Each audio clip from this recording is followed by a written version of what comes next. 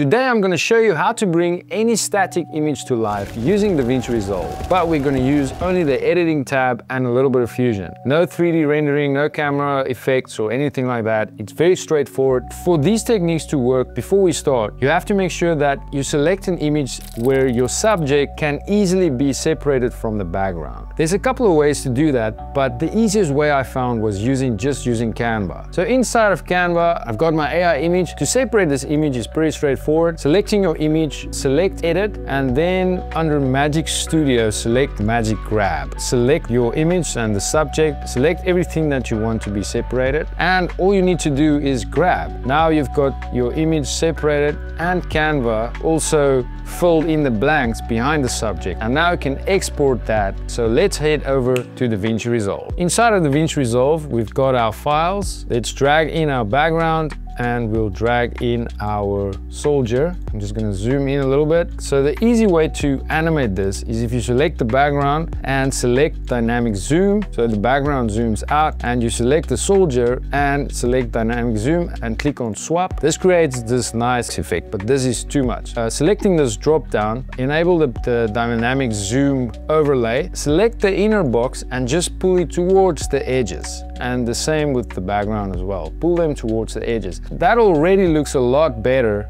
than the static image, we can take it a step further. There's a website called Vecteezy. I've added the link in the description so you can download all these same assets that I have for free. So the first thing is we're gonna add a lens flare.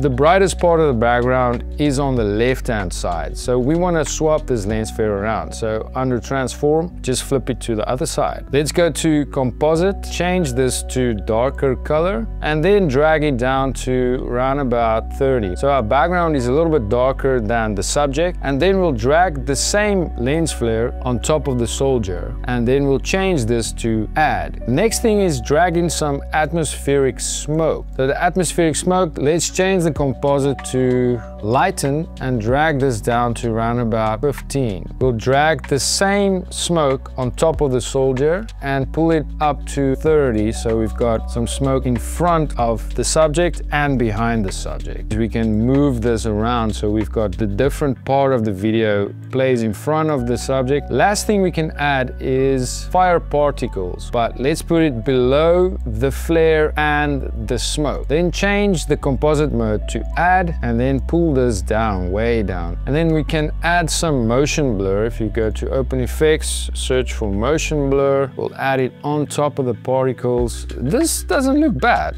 We can go with that, but we can go one step further, which which will bring this whole image to life. And this is an easy step. So the last step is to go into Fusion. So if you click on your background, let's go to the background first, the PNG. Right click on that and say open in Fusion. Now we've got this media in and media out. Open your select tool by pressing control or spacebar and search for waviness. So add that in now the whole image will be wavy, but don't worry about that. Then we're gonna select a polygon node, drag it on top and connect it to the waviness node. And then create an outline around the smoke cloud. Doesn't have to be perfect, just rough outline. Now only the smoke animates, but that animation is way too much, right? Okay, so let's decrease the scale to about 2.7. And the strength, we can increase it to 28. And the speed, let's decrease that to 0.02. And then change the waviness type to horizontal. Now the smoke will look like it goes up, right? But you can see we've got some edges around So select the polygon, uncheck the show view controls and increase the soft edge a little bit. See at the end here, we've got this flag pole that's being dragged along, or it looks like it's being duplicated. Select the polygon again and check the show view controls and just move these up a little bit so it doesn't interfere with any objects to make it look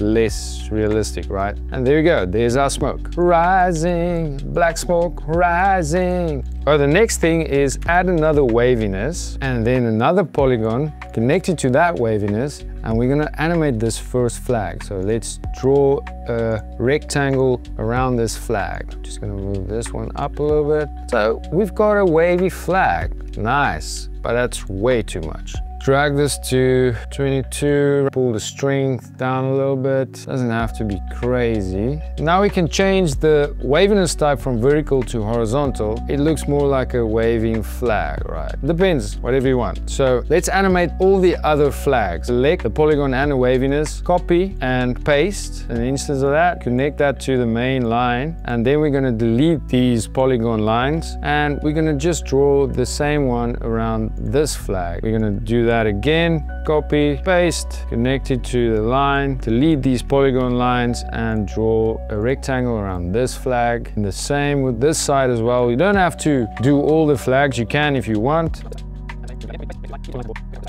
If you want to play around with the variability of each flag to make it feel a little bit more custom, you go into the waviness node of each flag and then play around with the phase, the speed as well, until you get like a little bit more randomness in the flags. Right, that's the background. Okay, so the last thing before we export is gonna be to animate this red cape behind our soldier. So let's go into Fusion again. Inside of Fusion, we're gonna do the exact same thing. We're gonna add a waviness node and then connect a polygon to that waviness and draw roughly around the cape. I suppose you can animate arms and legs like this. I think it's possible with just the waviness tool and a polygon. Uh, this is way too much. Put the scale on 35, put the strength on 6.1 and then the speed on 0.04 and the phase we can play around with the phase where we want it to start but looks a little bit better.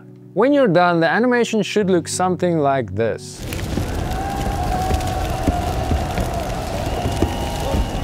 If you like these videos, please like, subscribe and support the channel. I read all your comments and I hear what you guys are saying. I want to try and deliver the best possible content and to help you improve in your DaVinci Resolve journey and become better at editing, motion graphics, 3D animations, all those nice stuff. And if you've got any suggestions, leave a comment, let me know, and I love to hear them. Thank you for watching. I'll see you in the next one.